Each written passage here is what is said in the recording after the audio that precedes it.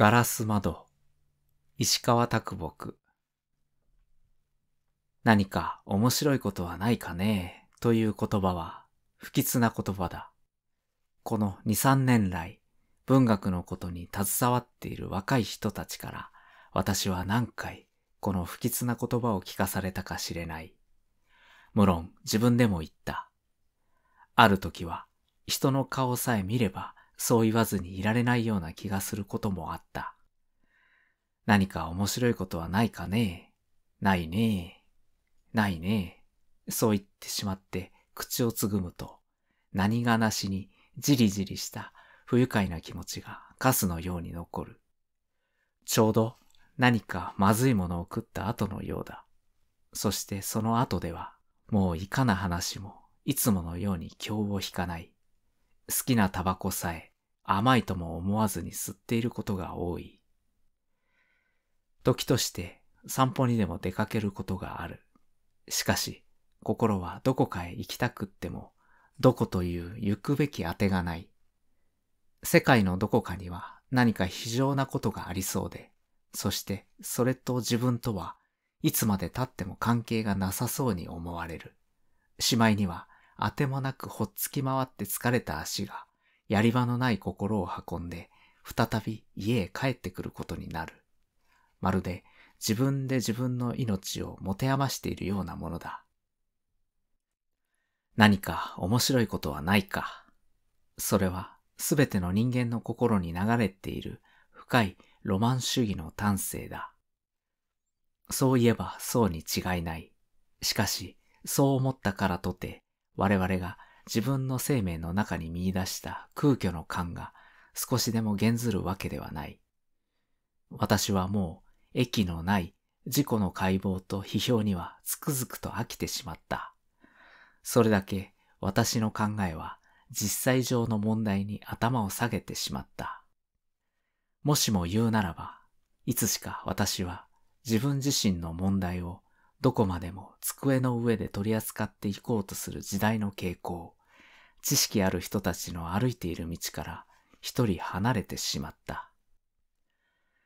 何か面白いことはないか、そう言って町々をあてもなく探し回る代わりに、私はこれからどうしたら面白くなるだろうということを真面目に考えてみたいと思う。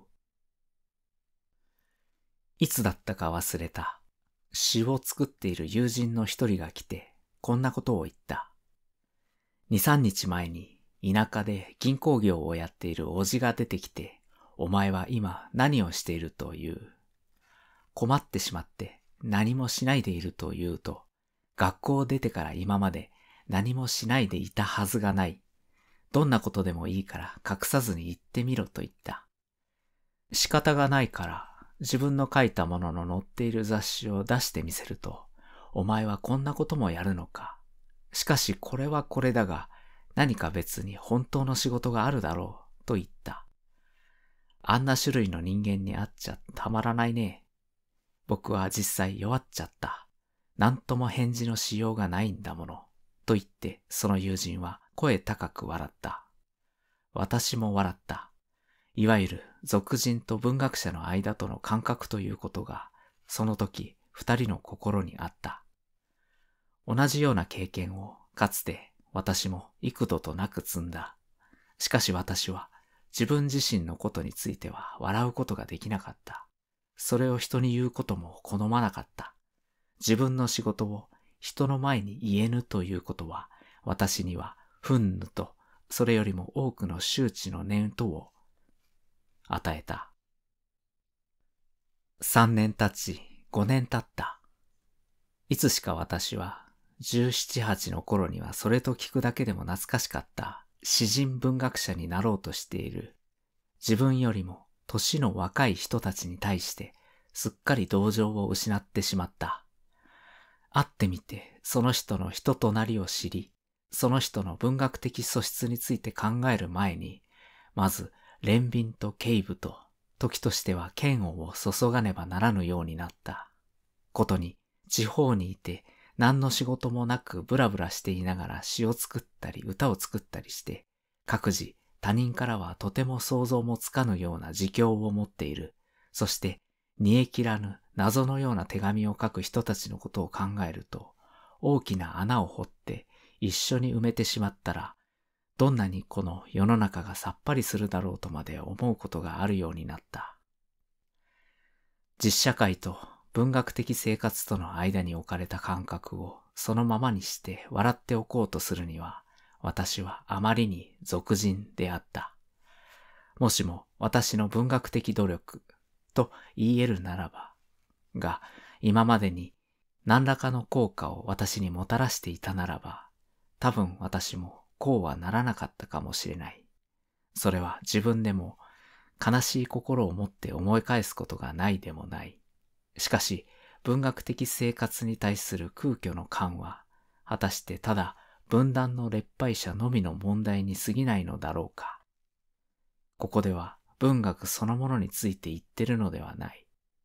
文学と現実の生活とを近づける運動は、この数年の間、我々の目の前で華々しく行われた。資料ある作家にとっては、文学はもはや単なる遊戯や英単や防我の国ではなくなった。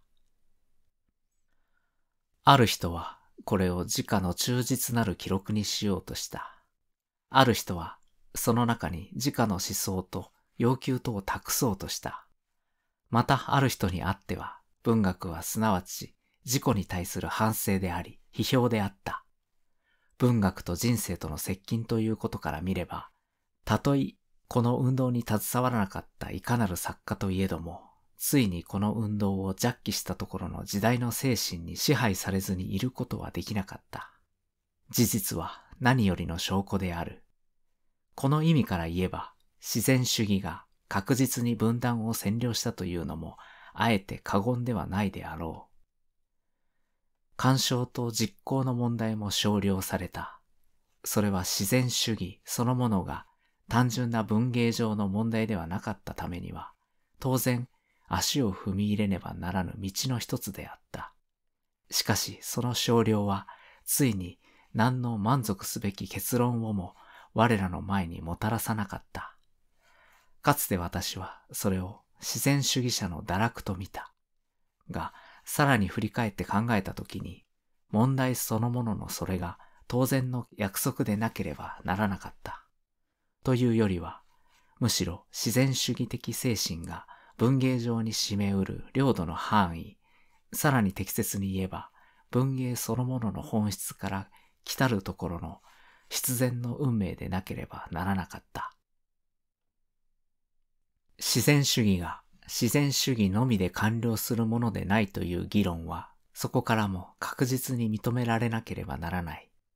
したがって、今日及び今日以後の分断の主張を自然主義の連続であると見、ないと見るのは、要するに、実に唯一種の名義争いでなければならない。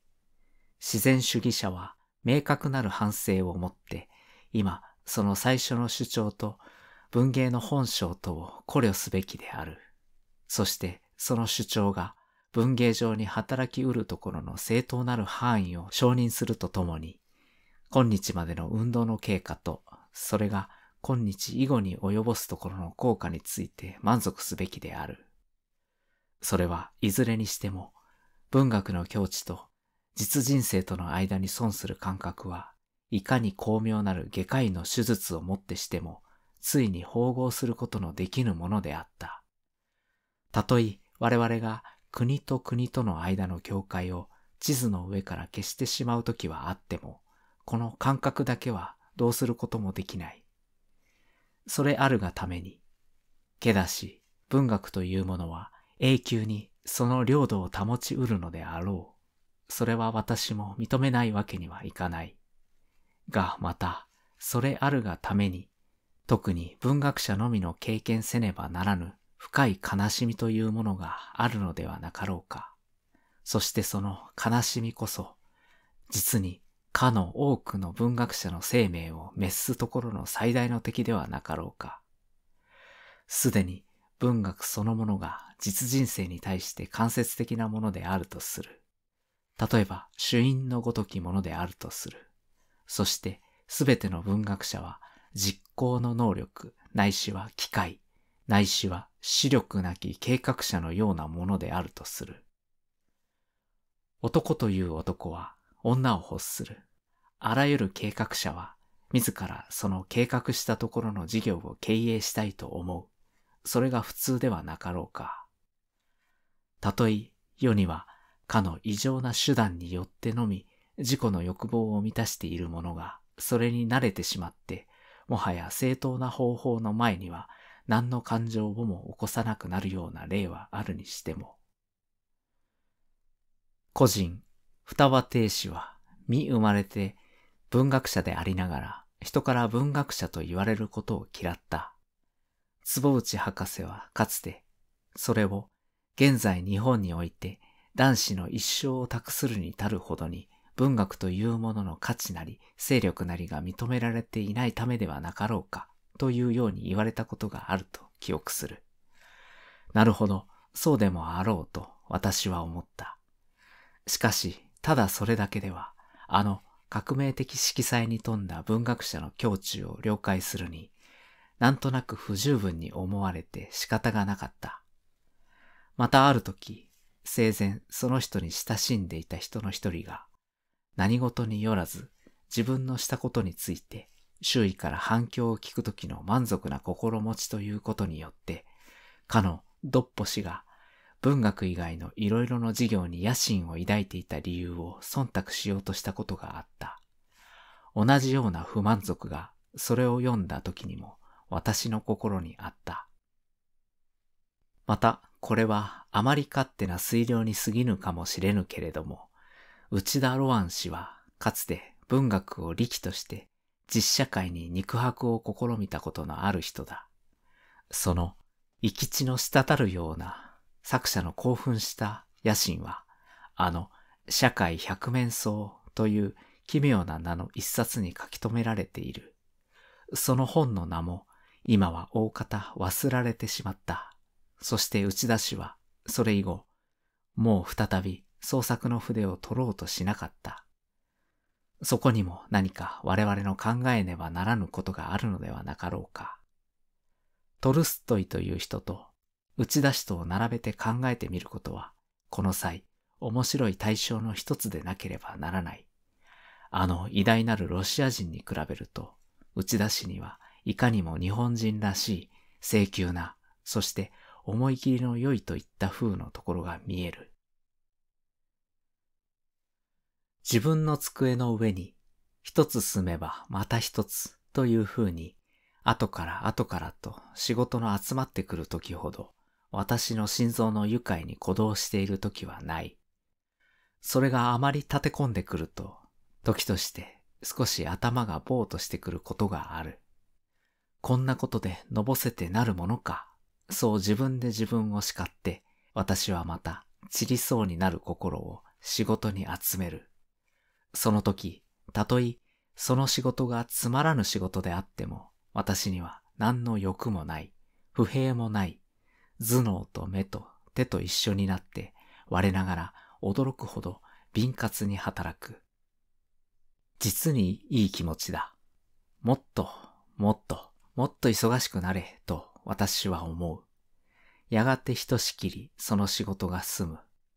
ほっと息をしてタバコを飲む。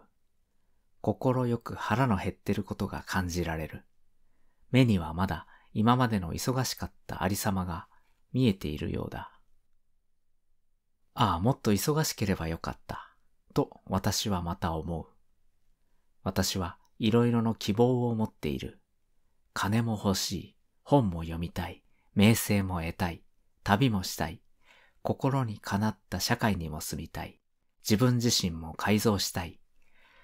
その他、数限りなき希望はあるけれども、しかしそれらも、この何にまれ一つの仕事の中に没頭して、あらゆる欲得を忘れた楽しみには変え難い、とその時思う。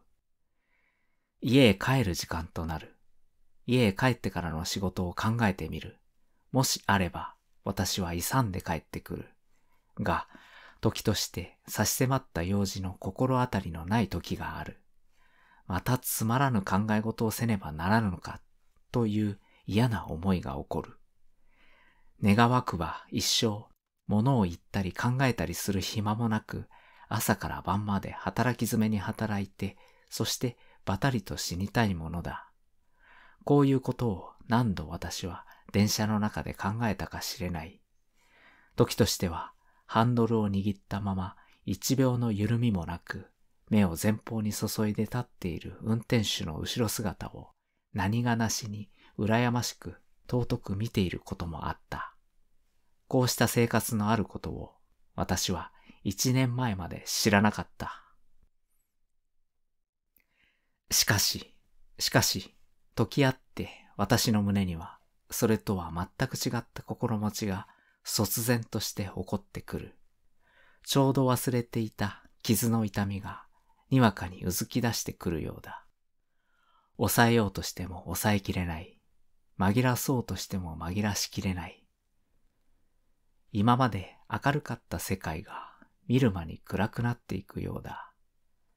楽しかったことが楽しくなくなり、休んじていたことが休んじられなくなり、怒らなくてもいいことにまで怒りたくなる。目に見、耳に入るもの一つとして、この不愉快を募らせるものはない。山に行きたい。海に行きたい。知る人の一人もいない国に行きたい。自分の少しも知らぬ国語を話す人たちの都に紛れ込んでいたい。自分という一生ものの限りなき醜さと限りなき貧善さを心ゆくばかりあざけってみるのはその時だ。明治43年、6、新小説15の6